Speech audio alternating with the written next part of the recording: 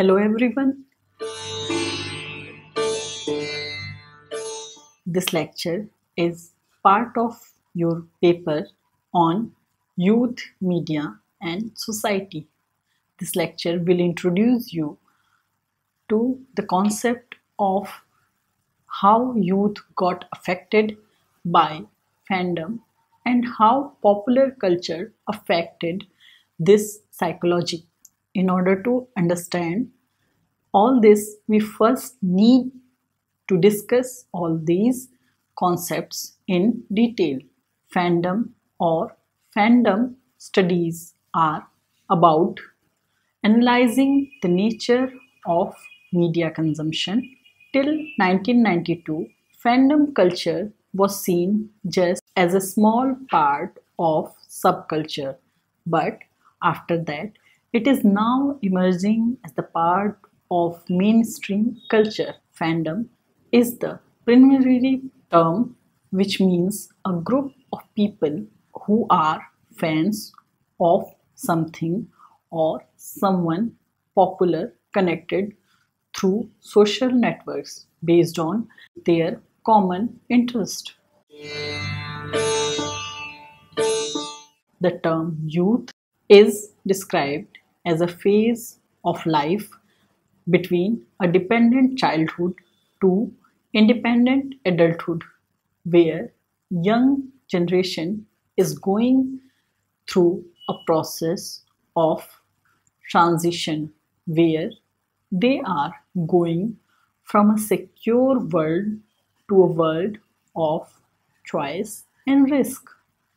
Young people are undoubtedly in a particular social category because they are no longer eligible to child benefits but at the same time they need additional care because they are still not fit into a category where they can enjoy all available possibilities and opportunities for the adults. Defining youth is still not easy because youth represent a mixed group of different socio-economic, cultural and educational background, choices, demands and difficulties. Popular culture is a vague term which can be defined in many ways. In easiest way, popular culture is basically a culture which is commonly preferred or accepted by many people. Raymond Williams 1983 gave four different meanings in the word popular culture. Well liked by many people, inferior kinds of work, work deliberately setting out to win favor with the people, culture actually made by the people for themselves. Popular culture is people's culture that dominates in a society at one point of time. It includes parts of social life most dynamically convoluted in by the public. Popular culture is decided by the communications among people in their daily life actions, dressing style, the use of jargon, welcoming rituals, and the food habits, all examples of popular culture. Concept of fandom. Fandom is a phenomenon which has different meanings across the globe. There are two main reasons which define meanings of fandom in any society.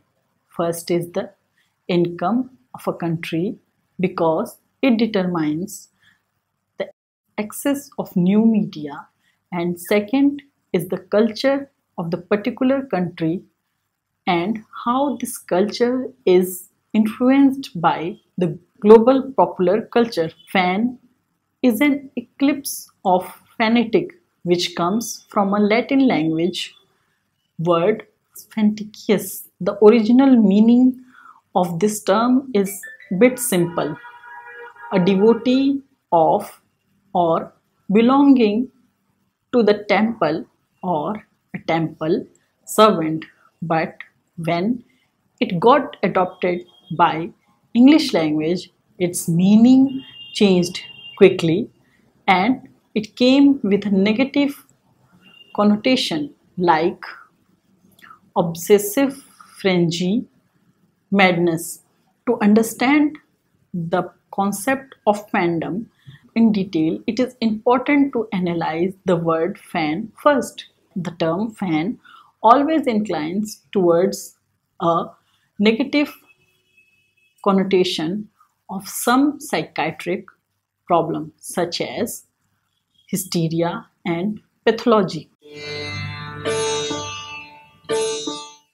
But when analyze the real psychology of a fan, we find that it is almost as similar as any normal fan of popular culture, such as the cognizant of literature and classical music.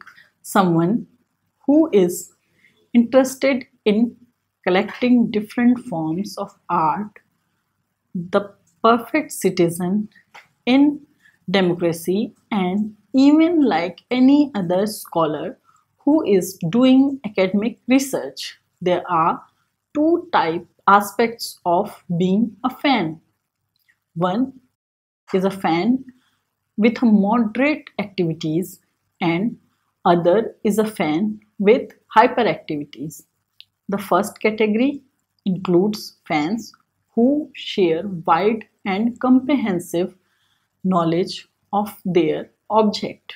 They are deeply emotionally involved with their object. They spend large amounts of time on it and profoundly appreciate to share their experience with other people who are having same wavelength. The other hyperactivity category comprises fans who are accused of having senseless pleasure, of leading displaced lives, and who do idiotic behavior for their ideals or favorite programs. There are three dimensions of fandom. First is cultural dimension, which was developed in the year 1992 by Jenkins, Fiske, and Lewis, according to which fans are taken seriously and their fandom is considered their act of fandom as a product of the cultural background. Second one is performative dimension, which focuses more on the cultural practices than the ideological discourse. Fandom is a performative action which should explain with some fundamental factors of difference, class, gender, sexuality, age, and ethnicity. Our two dimensions are mainly focused on global features of fandom and it has Anglo-Saxon biases. A third dimension on fandom culture has emerged which is called the local dimension. This dimension is focused more towards the explicit culture, cultural background of fan cultures. Fandom is considered a subculture which is comprised fan who share similar feelings and common interests. In reality, fandom is like a very large and unorganized family which have some weird features both negative and positive but everyone who is part of this family should have connect with these distinguished family features.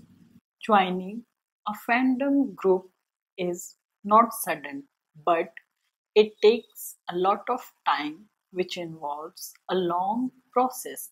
There are seven stages of fandom. First stage casual observer. Second stage developing interest.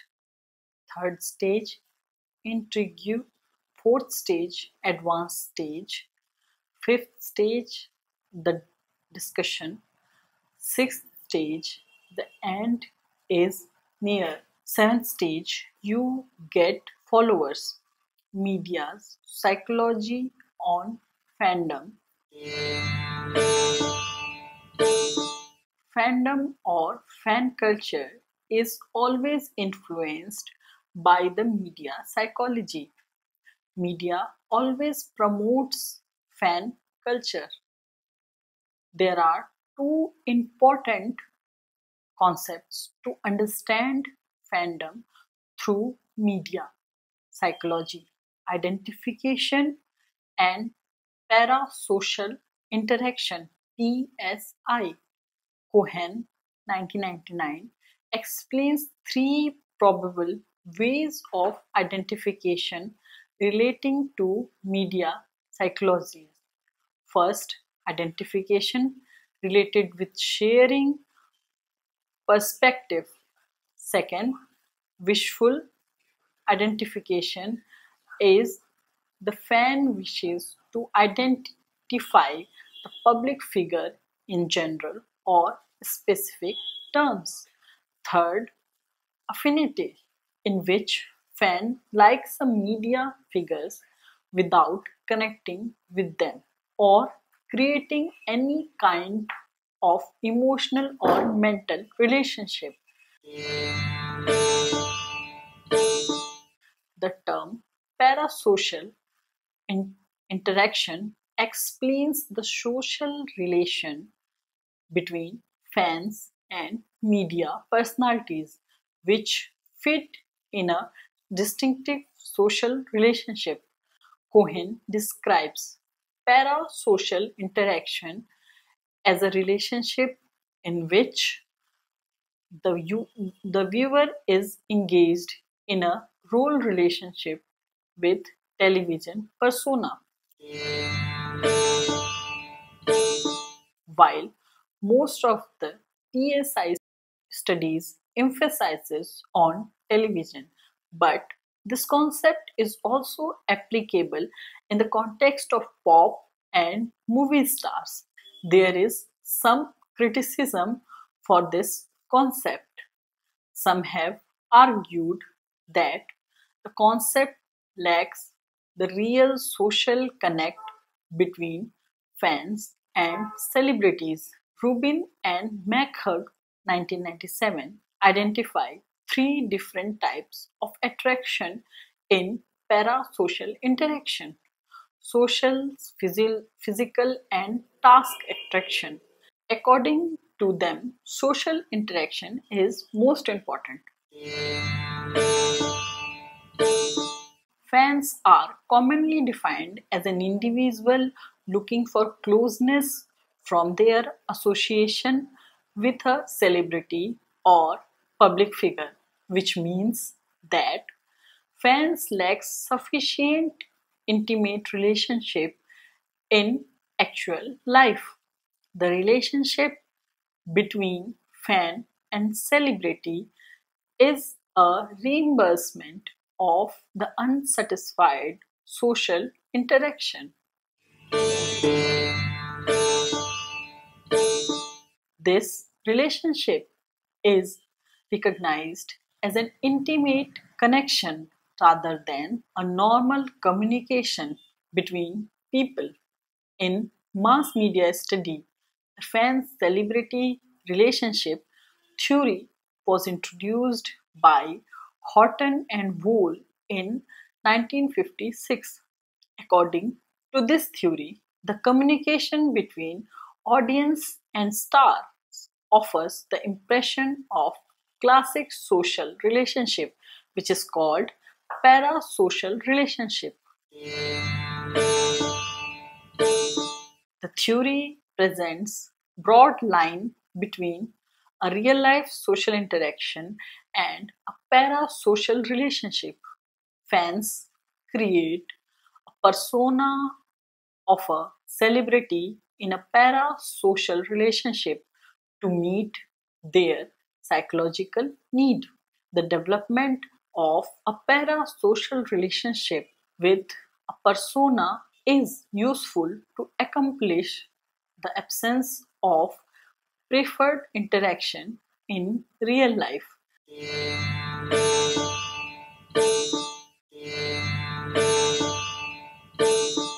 Fandom is considered as an obsessed behavior of any individual with a celebrity which is not able to lead a normal social life like other people. Social relations form social association and build social groups. Fan cannot be an exception. Our group identity strongly affects other perception towards us. Therefore, fandom and social identity can be changed depending of the context. Fandom is considered social group of fans. The word fandom is used for a group of people who share a common interest or involved in fan activities. Fans share a sense of common connectivity. Characteristics of these social groups are based upon the common behavior of its members. All the people who can connect with these characteristics can consider themselves as a part of these groups. Now, social identity is not permanent and fans cannot always correlate with it. At times, an individual is not sure if he, his or her behavior is passionate enough to call oneself as a fan. Sometimes people detach themselves from a particular group identity because they cannot correlate with other group members' activities. Hogg gave a reasonable analysis of this type of change in an individual's social identity and named it uncertainty reduction. To resolve the sense of ambiguity, people cut the amount of shared category label to achieve nominal con- convergence of common similarity to discover the better way of interaction. Fans' identity needs less recognition or assurance, unlike other strong social identities such as gender and ethic. People can choose to modify this group level giving in the giving to the context social identity describes the communality of in-group member and also the variance among us and others. Hence, people prefer exclude themselves from certain group if it is not seems beneficial to avoid sympathizing then feel upset.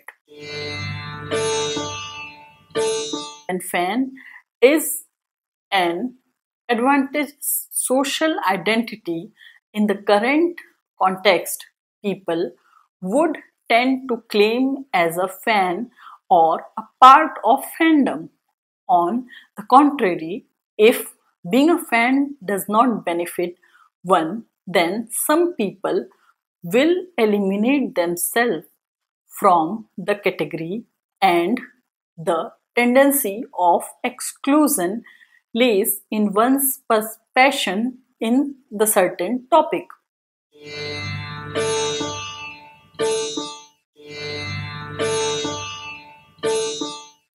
Fandom is actually to promote the star and to carry out his her name but not all fans are known and approved by the star. This is a false no notion that fandom is created and remotely controlled by stars or their offices. Youth is the center of all fandom activities. Across the globe, fan belongs mainly to the age group of 10 to 30. In India, fan culture or fandom is more active in the southern part. All the four South Indian states and Pondicherry are hub of different type of fandom activities which is planned and hyper visible. There are different types of fan club in each states, possibly every region within the state. In these southern states, fan activities are visible even in streets also. The best example of the relationship between fan and celebrity is people's love for the Tamil superstar Rajinikanth, who alone has almost 100,000 fans fan club with a total of million fans.